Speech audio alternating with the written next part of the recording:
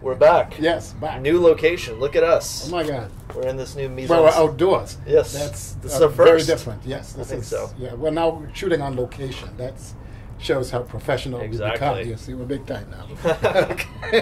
So what are we talking about? We're going to talk about Mel Gibson. My, All right. My one of my favorite actors slash actor turned directors. Mhm. Okay, and so. And why is of- that? Huh? Oh, because I like the intensity of what he how he commits himself to work. Um, I like the fact uh, as a director. I think one of the things that's he's one of the good Hollywood directors in the sense that uh, he works within the structures of the medium of the uh, industry, and he makes his films very distinctly his own. You know, um, what I did was I actually went back, did a lot of research just to kind of know what I was talking about, and I broke his career as I know it into phases. into yeah well three parts really is what I said and I want to I'll have to read it because I don't have a memory anymore. Um, the first part was you know the young Mel Gibson. Um, Mad Max and the before Australian that, even films. yeah, the Australian film Gallipoli and Tim. You know, I Right. remember seeing those. And here- what I say? well, didn't he do the first Mad Max around that time as Yeah, well? w- yeah. The first um, one he did. mhm. Uh, but Tim came before that. Okay. He did some television, then he did Tim, and then he did Mad Max. Um, I've never seen that. Tim. Yeah, Tim. He's so young. Um, he's like a young deer or something. That's funny. Um, physically, Right. Um, he's almost uncoordinated because um, of his youth, but also because of the character he's playing. He's playing a slightly retarded young man Okay. uh, in it.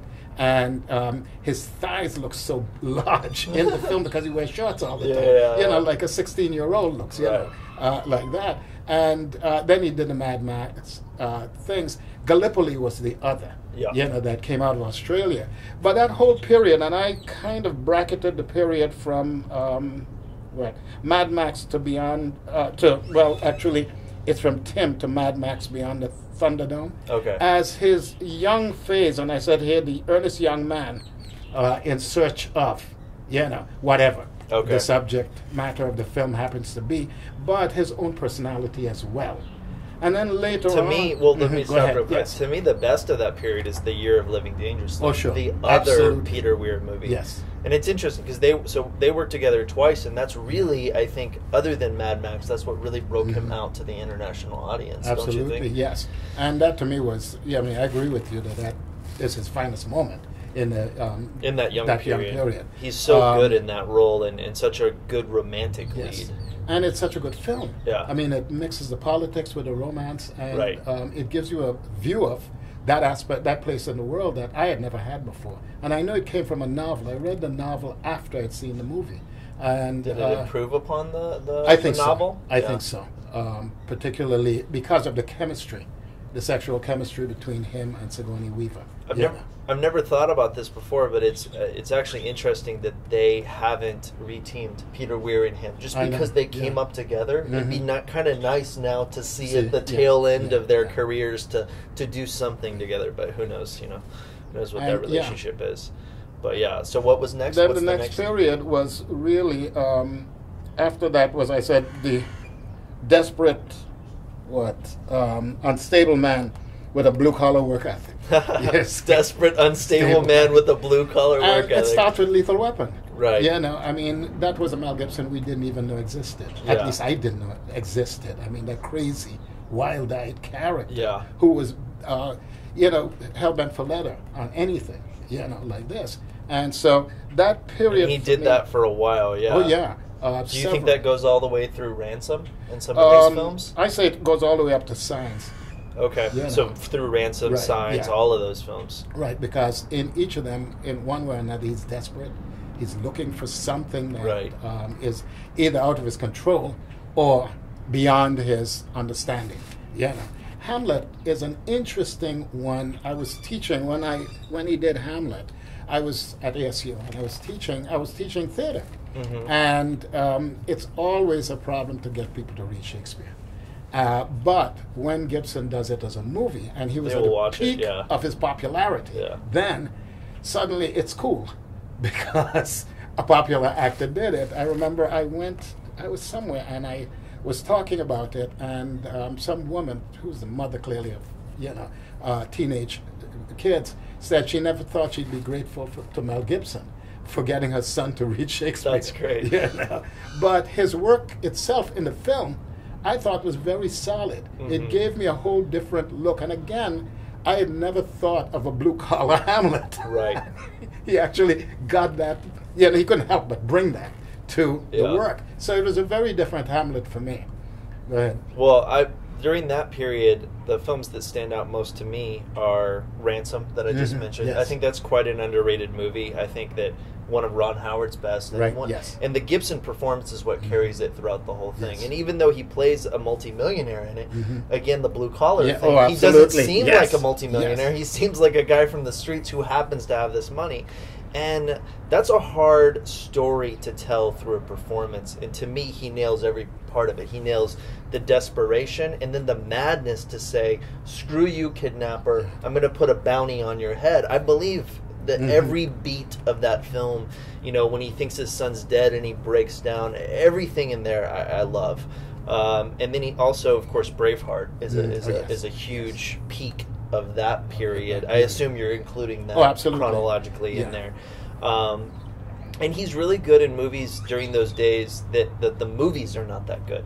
Like uh, Conspiracy Theory Mhm. is a film Yeah, that yeah, doesn't yeah. work as a as a film, but him, Or Bernard hi- Wayne. yeah, exactly. His performance in it, even in a movie called Air America, I don't know Mhm, if you ever saw that. sure. He's really entertaining in the Yes. film, but the film itself falls apart completely. So I, That was a period when I was wa- seeing every film Mel Gibson made. Yeah. So I went to see every one, uh, Mrs. Soffel. Right. the one I that didn't he see did that, With, yeah. with Diane Keaton.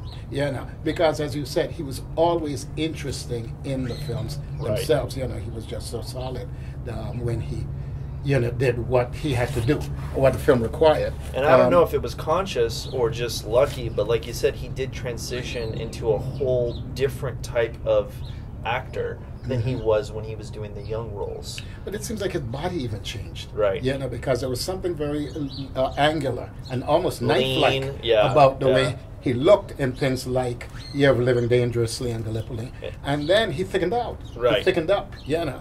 But going back to Ransom, I wanted to ask, had you seen the original? I haven't. Oh yeah, uh, that was a signal film during my With Glenn Ford, teenage right? yeah, Yeah. my teenage years. Glenn Ford made maybe five films that were social problem pictures. Mhm. He did one about prejudice called Trial, Okay. where he played a lawyer defending um, a Latino man who had been um, accused of murder, and he, you know, the young man, of course, didn't do it. And so Gibson, um, Gibson, picking up on Ransom, I was hoping he would have done. Uh, the other Glenn Ford film as well, but Yeah, of the That would two, be interesting. the Ron Howard's um, version is the better. You know, and the reason for that is because of the way uh, Gibson drives the performance. He drives the plot through his performance. You know, The that. other remake or redo during that period that I think is not great but enjoyable is Maverick. Oh yes, yes. Because he just has some fun. That's a lot of fun, it. Yeah. yes. And the Garner mm-hmm. it has great chemistry in it. And actually, to me, that's one of Jodie Foster's Yes. best because it's not so Yeah. self serious. Yeah, It's just exactly. loose. And they have a. She's actually sexy in the Mhm. film, you know? So.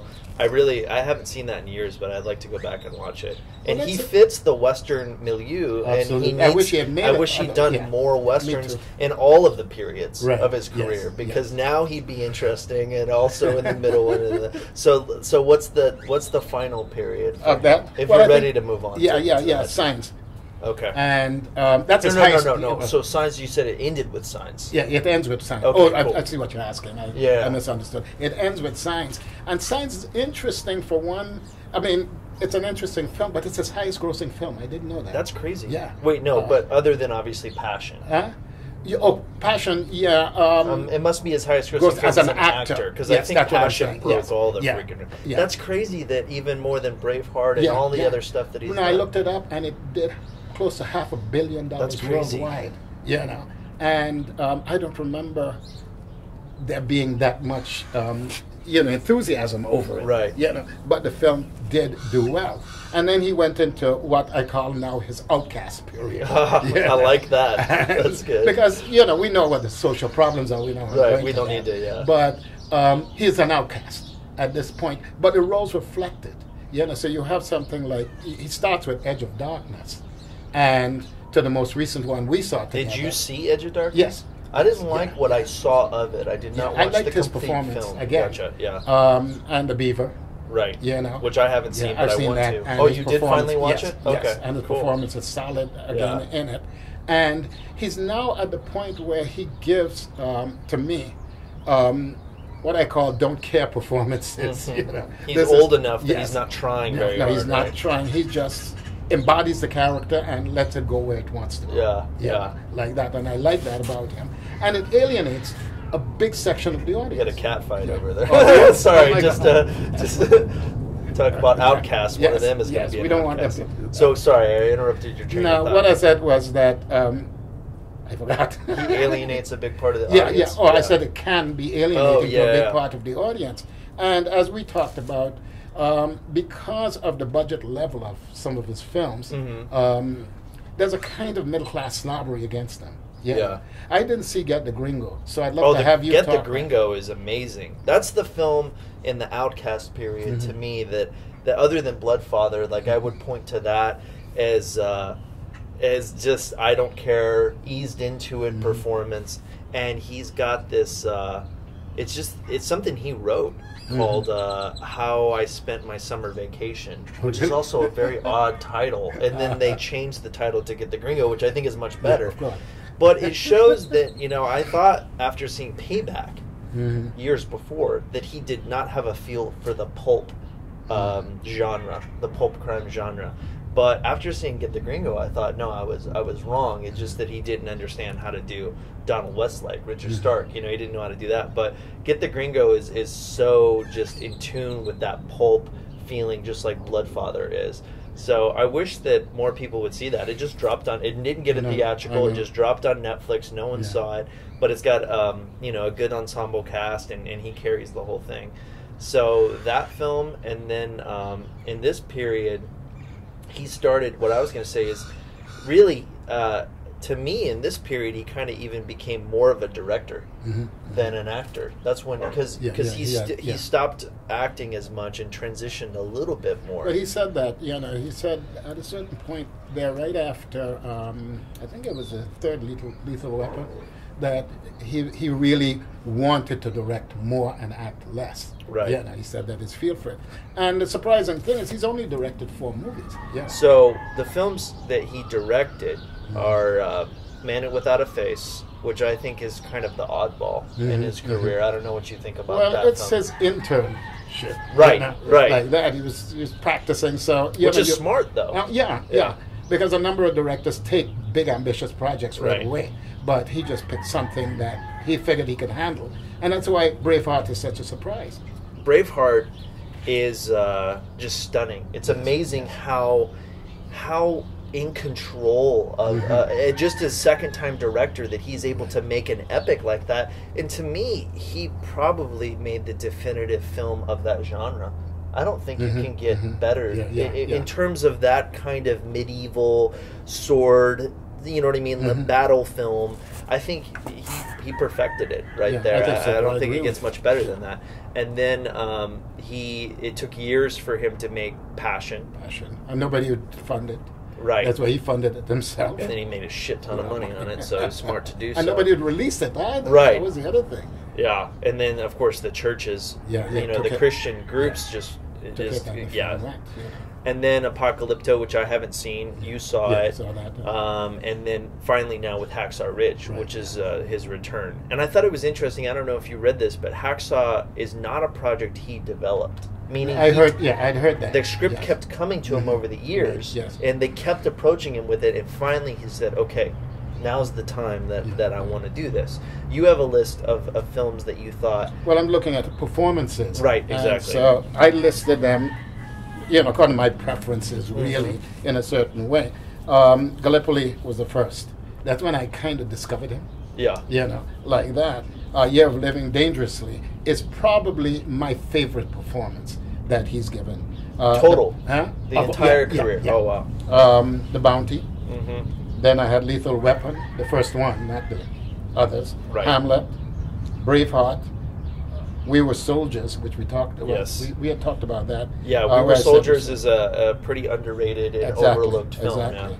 Bloodfather, which I like a lot. Oh yeah, Bloodfather, and let's touch on that just a little Okay. bit more real quick, just in the sense that I think that it's really needs to be seen by audiences, and the the critics gave it this, you know, this pass. They ignored it Mhm, yeah. because they're a bunch of snobs, you know, and anything that sort of has a B movie feel to it, they just overlook. And it, to me, it's it's it's one of the most solid action crime films Mhm. that's come out in a while.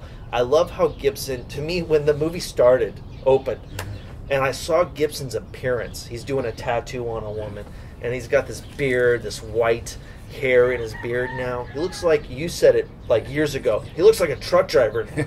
I'm like, God, he does look like a truck driver, but he's got such a great feeling to him. And this is the the final evolution, or not the final. Who knows? There might Yeah, be like one more yes, Gibson yes. that we're looking That might be the to. old man, right? Yeah, the real old man. But I like the truck driver Gibson. I want to. I'm like always fantasizing about a movie where Gibson plays a truck driver that ends up in some kind of like violent situation. So he's just got such. I was almost sad in the movie when he shaves at the end. I'm like, mm-hmm. no, you know what I mean. You got such a fantastic look. So, but you had a couple more. and then there. I had Ransom. Um, Which we talked about. Yeah, we talked about that, and Tim, which Mhm. is really the you know I think it's a 19 year old Right. Mel Gibson or something like Yeah, that. yeah. You know, it's that he's such a big, clumsy kid in that, Yes. but there's something very winning and charismatic Mhm. about him that kind of tells you this guy's going to have a long career Right. in films, and he wound up having one. He's 61 this year. Oh, wow. You know, I, was, I looked up his age, um, and as I said, you know, my my reason for wanting to do a piece on Gibson, you know, was because I want people to really pay attention Take to him his seriously, work. Uh, yeah. Again, uh, he was taken seriously earlier, but uh, you know, I call it respect for Mel Gibson, Right. you know, as an actor and as a director, because he keeps getting dismissed. Hacksaw Ridge is bringing back some of that, Right. But um, you went on to say something about. Well, I just hope that that Hacksaw leads to him getting more projects funded and Mhm. greenlit by the studios Right. because for years he's been working on some movies that sounded fascinating. This Viking movie he was going to make called The Berserker with DiCaprio Mhm. to me sounds just just great. You know, I want to see him descend into Viking madness. You know, he'd do his shit where he's got to have them talk in a different language, subtitles. You know, they'd have to learn Nordic or whatever. So I think that that I'd like to see him go down his little like paths of interest, and hopefully the success of Hacksaw allows for him to get more projects funded. He also has this new movie that he's producing with uh, with Sean Penn called The Professor and the Madman, Mm-hmm. and I think you know it, it should be called The Madman and the Madman because uh, because it's two two of Hollywood's greatest crazies, Uh-huh. right, getting together, right, and hopefully hopefully there's some fireworks on screen. So But you had an insight that I thought was appropriate and accurate about even if he gets reaccepted again into the mainstream. And let's hear He's it. well. I think that you say his final phase is an outcast, Yes. and to me, that's his truest phase. He, Uh-huh. he he is an outcast, right? That's that's his instinct, right?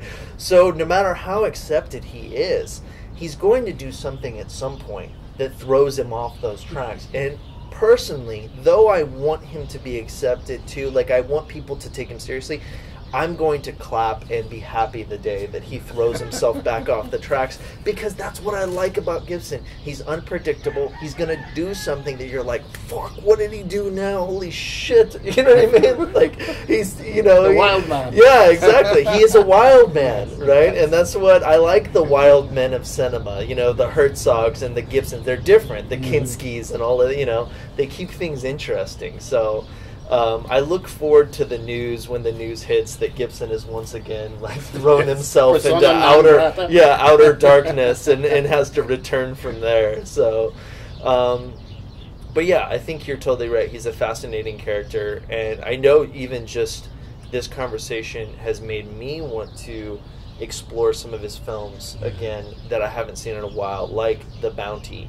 And I never caught up with The Beaver and Apocalypto. So hopefully, it, you know, if anyone is listening to this, that it helps, you know, encourages you to take him seriously, look at Bloodfather, look at Get the Gringo, and, Mhm. and see some of his films. And in a way, he's our inspiration because we Yeah. want to always be outside of the box, and we always want to be outcasts. Exactly. Yes. So to Mel Gibson, we support you. Right? and if you had a drink, I would yes, toast to Mel. Gibson. to Mel Gibson, yes. So next time we're going to talk about critics. okay, I think so, right? all right, if you want to. Yes. we will. Well, that was your idea. If Was I it my to- idea? Yes, Okay. exactly. I forgot. All right. Next time we'll be back to talk Yes. about those critics. All Talk right. to you soon.